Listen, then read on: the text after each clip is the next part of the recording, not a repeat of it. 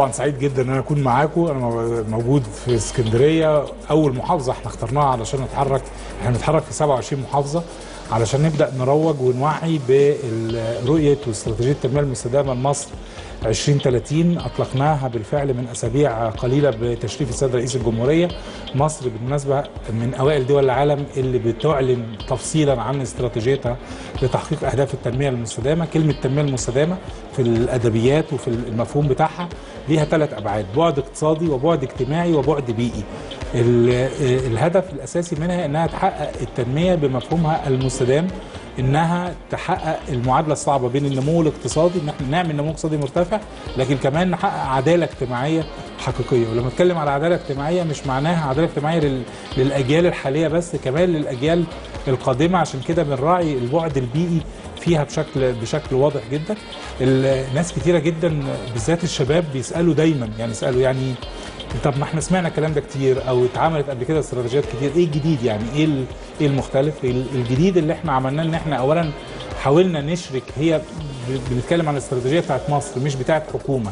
وكان ده من أهم الأسباب فشل أي استراتيجيات قبل كده وخطط قبل كده إن دايما ينظر ليها ان دي بتاعت الحكومة. فلما تتغير الحكومة ويتغير الوزير فنبدأ نقول من أول وجديد وده وده عطلنا كتير قوي فإحنا راعينا من الأول خالص إحنا بدأنا الشغل في الموضوع ده من يناير 2014 أكتر من سنتين دلوقتي شغل بجد يعني ناس تعبت جدا. شاركنا بشكل كبير جدا القطاع الخاص المجتمع المدني المنظمات الدولية. حضرتك لو شفت الفيديو اللي إحنا أعلناه عدد كبير من المنظمات الدولية شركائنا في التنمية في شاركوا كتير.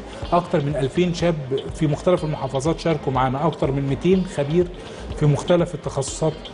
شاركوا معانا اوجدنا ففكرة المشاركة دي مهمة جدا عشان فكرة ال ownership إن دي بتاعتنا بتاعت مصر بتاعت الشباب بتاعتكم مش بتاعت فلان اللي واقف قدام حضراتكم أو غيره أو أي حكومة أو أي شخص ايا كان. ده حاجة أول حاجة. الحاجة الثانية إن إحنا راعينا نكون عمليين جدا في في الموضوع ده. نحط أهداف واضحة جدا ومحددة وببرنامج زمني محدد علشان وبمؤشرات قياس أداء علشان نبدأ نتابع ونقول آه والله طب يعني أنا مش هستنى 20 30 وبعد هستنى 15 سنة علشان أشوف حاجة. لا أنا في 2016 هقول لي هتشوف إيه 2017 هشوف إيه وهكذا.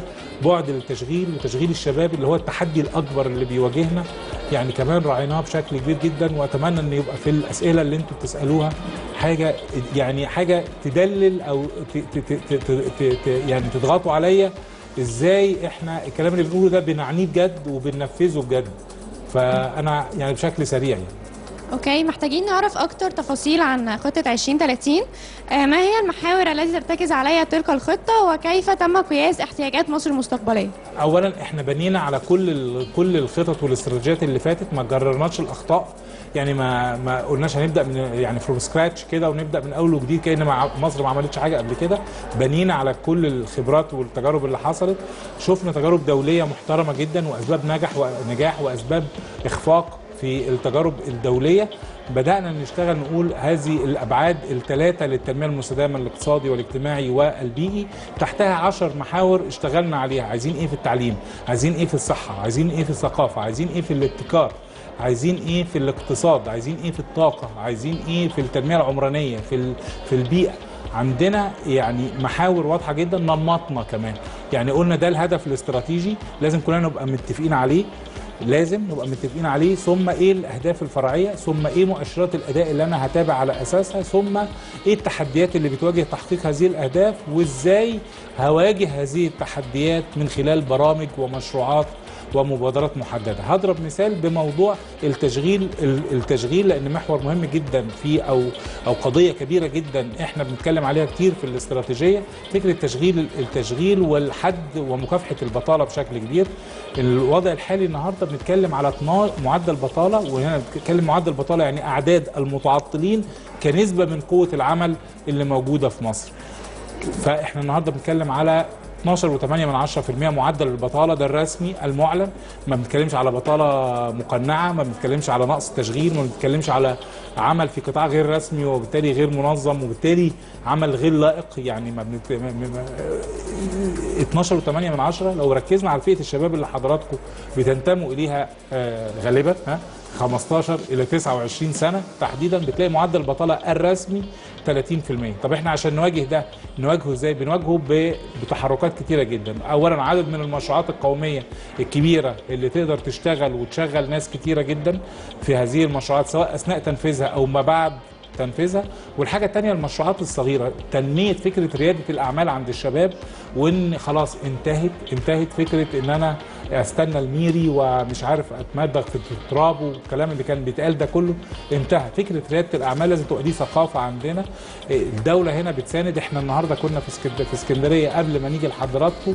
كنا بنفتتح مشروع جمعيتي. جمعيتي حاجة صغيرة فيها تعاون بين وزارة التموين والتجاره الداخلية والصندوق الاجتماعي. بنطلق ده بي- بيحقق معادلة صعبة بيشجع الشباب. قطاع التجارة الداخلية تجارة التجزئة هو من أكبر القطاعات المشغلة. كل 10 متر مربع بتولد فرصة عمل. تكلفة فرصة العمل منخفضة جدا بالمقارنة بقطاعات تانية. فبالتالي لما بتكلم على خلق فرص عمل مئات الآلاف من فرص العمل تاني الحقيقية والمنتجة واللائقة بنتكلم في هذا القطاع. فده نموذج نموذج حي بيخلق فرص عمل حقيقية وكمان بيطور التجارة الداخلية وبينظمها ما بقتش عشوائية. عشان كده كنا دايما نقول الأسعار بتزيد والمش... ليه؟ لأن في عشوائية في منظومة التجارة الداخلية. فلما حتى على مستوى التاجر البسيط الصغير قوي ده يبقى كمان منظم ومحطوط له سيستم ومستف... وربطه بقاعدة بيانات. يعني فكر متطور جدا. تاني إحنا زي ما الدكتور خالد كان بيتكلم دي لسه أول سنة. يعني بيتكلم على 2016 أول ثلاث شهور من. من التنفيذ. عايزين من ده كتير جدا وهو ده اللي هيقدر يوصلنا لل... لل... للهدف بتاعنا كده. ممكن نعرف ال- الفئة المستهدفة من المحاور؟ إحنا. إحنا كل المجتمع مستهدف. إحنا بنتكلم في هذه في, في هذه ال... ال- الرؤية وهذه الاستراتيجية عن كلمة النمو الاحتوائي. النمو الاحتوائي ال inclusive growth ده بنتكلم عليه إن هو بيحتوي الجميع ما بيستبعدش حد لا فئة بعينها ولا بيركز على الشباب وبيسيب حضرتك حضرتك هتشوفوا في الفيديو. كان في الإخوة مثلا المتحدي الإعاقة كان في المرأة كان في الشباب كان في القطاع الخاص كان في القطاع كان بيتكلم على كل محافظات الجمهورية وما بيتكلمش على محافظة دون أخرى أو فئة دون أخرى. لكن طبعا ال ال الاستراتيجيات بحكم بحكم كلمة استراتيجية بتتكلم على مستقبل فبتتكلم على جيل حالي شباب صغيرين موجودين أو أجيال قادمة إن شاء الله بتتولد خلال الفترة الجاية عايزة لما نسيب. نسلم الراية زي ما بنقول كده في 2030 نسلمها مرفوعة مرفوعة قوي وأحسن بكتير قوي من اللي إحنا موجودين فيه وده تحدي كبير لكن إن شاء الله يعني بإيمان الشباب بالذات بالذات الشباب بهذا الموضوع ونشره في المدارس وفي الجامعات ونقده يعني أنا دايما بقول زي ما قلنا هي وثيقة حية مش عمل لا قرآن ولا إنجيل عمل بشري إحنا شاركنا كلنا فيه. هنغلط آه نغلط وماله ما نغلط وصححوا وقولوا لا كذا ويا ريت أنتم ما أخدتوش بالكم خالص من من من نقطة معينة. خلينا هو ده اللي هيخلينا نوصل ونوصل بسرعة جدا ومش هقول الدول اللي عملته في 30 سنة نقدر دلوقتي بالتقدم اللي حصل وبالاستنفار اللي ممكن يحصل ممكن يتعمل في 10 سنين و15 سنة بسهولة شديدة. بس عايزين نصدق إن إحنا نقدر نعمل ده وإن شاء الله نقدر نعمله. لما بنتكلم عن خطة بنتكلم عن حلم أو هدف إحنا عايزين نوصل له. إيه الحلم اللي الخطة دي تقدر توعدنا؟ إحنا ال- الحلم هو ان إحنا نحقق التنمية المستدامة في مصر ان إحنا نحقق نمو اقتصادي مرتفع نمو اقتصادي مرتفع ده يعني إحنا بنتكلم على إحنا النهارده مصر متوسط دخل الفرد في مصر حوالي 3300 جنيه حاجة في 3400 جنيه مثلا. خلاص ده متوسط دخل الفرد طبعا ناهيك إن في ناس أغنياء وفي ناس فقراء وفي ناس كذا لكن اتكلم لو قسمت الدخل بتاع مصر على عدد سكان مصر هتلاقي متوسط نصيب الفرد من هنا 3400 جنيه. إحنا عايزين عندنا هدف كبير إن إحنا نوصل ل 10000 جنيه متوسط دخل الفرد. بحلول متوسط دخل الفرد بحلول عام 2030 النقلة دي هتنقل مصر من آه، دولة بتصنف إن هي دولة ذات دخل متوسط أدنى إلى إنها ترتفع إلى دولة ذات دخل متوسط أعلى. مش هنقول دولة غنية ولكن دولة ذات دخل متوسط أعلى.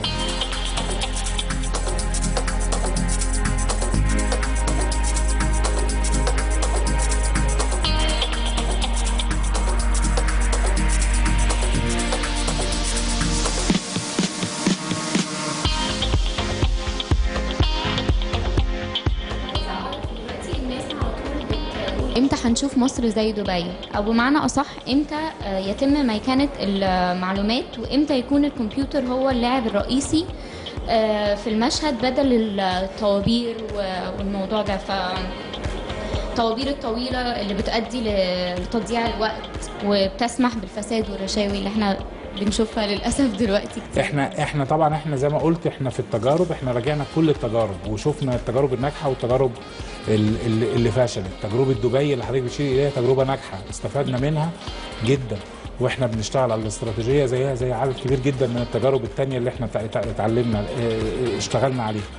لكن تاني آه، برضو لو حضرتك بتشوفي دبي بتتكلم على دبي 2021 وبيتكلموا النهارده على إن هم في 2016 بدأوا يوصلوا كتير جدا من اللي كانوا حاطينه من 10 15 سنة قبل كده علشان يقدروا يوصلوا لهذا لهذا الحلم.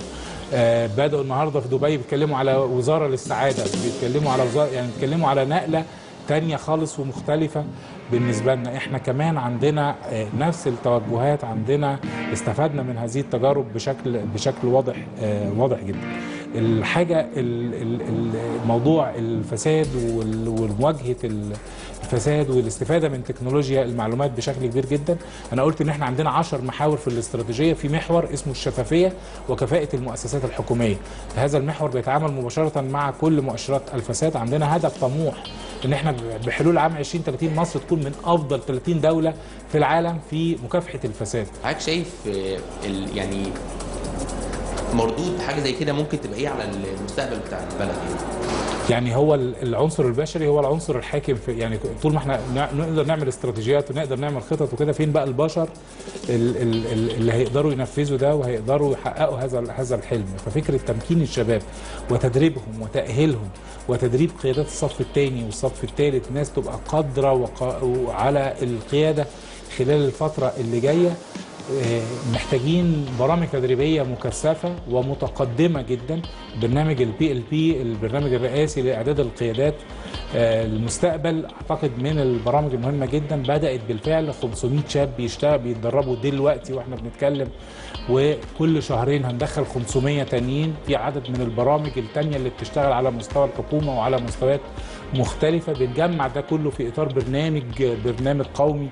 كبير البرنامج الرئاسي أو المبادرة الرئاسية هي فكرة إن دي مجرد إطلاق لشرارة البدء لعدد كبير جدا من البرامج التدريبية. عندنا في استراتيجية 2030 بنتكلم على إن كل الجهات لازم تخصص ما لا يقل عن 1% من موازناتها للتدريب بحيث نوفر إمكانيات كبيرة جدا للتدريب.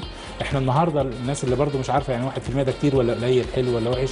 إحنا النهارده 4 من 100% من من موازنات الأجور بتخصص للتدريب. 4 من 100 في المية فأنا النهارده بقول إن ما لا يقل عن 1% يخصص للتدريب معناها مضاعفه موازنات التدريب أضعاف كتيرة جدا وبالتالي ده تمكنني إن أنا أقدر أعمل عدد من البرامج زي في إطار المبادرة السيد رئيس الجمهورية بحيث إن تاني إنك أنت يبقى عندك شباب مؤهل ومتعلم ومدرب بحيث يقدر يقود عجلة التنمية ويحقق أهداف الاستراتيجية 2030 بشكل واضح. متى ستتمكن الحكومة من إعادة هيكلة الجهاز الإداري للدولة؟ وهل الخطة تعتمد على تخفيض الستة مليون موظف إلى مليون؟ هل ده يحصل؟ لا إحنا يعني تاني زي ما زي ما أنا قلت الجهاز الإداري آه، محور مهم جدا آه، آه، في الاستراتيجية الشفافيه وكفاءة المؤسسات إحنا عندنا عايزين عندنا حلم نوصل بجهاز إداري كفء وفعال بيقدم خدمة متميزة بيرضى عنها المواطن علشان في الآخر الستة مليون أو السبعة مليون اللي موجودين ده الجهاز الإداري للدولة هو هدفه في الآخر يقدم خدمة المواطن يرضى عنها. يعني ببساطة ده هدف كل الحكومة أو أي حكومة موجودة أو أي جهاز إداري موجود عشان نوصل لده. فإحنا مش فكرة إن الأعداد تنخفض. طبعا إحنا عندنا أعداد زائدة مؤكد وعندنا بطالة مقنعة وعندنا عدم كفاءة عن- عندنا ده. لكن ما بنتكلمش إن إحنا ننزل من 7 مليون لمليون ده بين يوم وليلة. لكن إحنا عندنا هدف واضح إحنا في الاستراتيجية عندنا إحنا النهارده في موظف بيخدم كل كل 13 نسمه تقريبا بيخدمها موظف فده طبعا مؤشر آه، صعب جدا ده مش مش موجود إحنا عايزين نوصل طبعا مش عايزين أقول واحد ل 100 ولا واحد لك لكن بنقول واحد ل 40 كل موظف يخدم 40 آه، 40 موظف. فعشان نوصل لده طبعا عندنا أعداد بتطلع طبيعية طب- بشكل طبيعي على المعاش. يعني إحنا عندنا حوالي يعني خلال الخمس سنوات القادمة تقريبا مليون واحد هيخرجوا على الع- على المعاش بشكل طبيعي. إحنا كمان بنحاول من خلال القوانين ان إحنا نحفز أكتر على ال- المجموعة اللي هي فوق ال 50 سنة انها تخرج آه، طوعا واختياريا المعاش المبكر وبنتيح ده وبندي حافز على ده علشان نبدأ نقلل الأعداد. لكن في نفس الوقت زي ما قلت إن إحنا بندي دعم أكبر ونخصص ميزانات تدريب أكبر عشان نخلق قيادات صف تاني وتالت وشباب يقدروا يواصلوا المسيرة. عشان مش فكرة العدد بس مش فكرة ابقى مليون أو اتنين أو ثلاثة لكن كمان لازم يقول كفء وفعال وبيقدم خدمة متميزة بيرضى عنها المواطن. وده ال ال الهدف لأن إحنا عندنا مؤشر مهم جدا وهدف مهم جدا إن إحنا نكون من أحسن 30 دولة على مستوى جودة حياة المواطنين. هدف طموح جدا ناس كتيرة جدا وبالذات الشباب يا ده إحنا عايشين عيشة دلوقتي صعبة جدا. فأنت تقول لي مش عارف هكون بعد كذا. تقدر تعمل ده بلاد تانية أصعب مننا كان ظروف أصعب كتير. دول اتهدت بعد الحرب العالمية اتهدت وقامت من أول وجديد. بسهولة يعني مش بسهولة طبعا بصعوبة وبجهد وبعمل ومثابرة وبتضحيات لكن في الآخر بيوصل الهدف وأنت عارف لما الواحد بينجح ي- وأنتوا طلبة الواحد يشتغل ويموت نفسه في في الدراسة بس لما يطلع الأول أو لما ينجح بت- أو متفوق آه، بيقول خلاص يعني تهون كل التعب فإحنا عايزين نتفوق وننجح ون- ونجاح متميز وبالتالي التعب يهون. فإحنا عايزين بإذن الله إن شاء الله تبقى دي الروح اللي موجودة وأتمنى إن تكون الرسالة وصلت وإن الرسالة من خلالكم توصل لمجموعات أكبر لأن هو ده هو ده ال- ال- المهم إن إحنا تي- عاملين إتاحة لموقع إلكتروني يعني لهذا الموضوع التفاعل معاه بشكل أكبر التفاعل ايجابي نقدا وبناء نقد بناء مش نقد اللي هو كل حاجة وحشة ومفيش فايدة و... لا لا لا لا نقد نتعلم النقد البناء. آه في حاجات وحشة لكن ممكن نوصل لحاجات كويسة. فخلونا نساعد الحاجات اللي موجودة دي. هتؤدي بينا لده ولا لأ؟ أو في حاجات إضافية نقدر نحطها ونتحرك فيها بسرعة وبإذن الله ربنا يوفقنا كلنا يعني إن شاء الله. ممكن آخر سؤال؟ اتفضل. حضرتك قلت إن نسبة البطالة من سن. من سن 15 ل 29 30% هل سن 15 سنة ده مؤهل إن هو ينزل في سوق العمل؟ آه إحنا في تعريف القوة يعني يعني تعريف تعريف القوى العاملة في التعريفات يعني قوة العمل هي الأفراد فوق 15 سنة.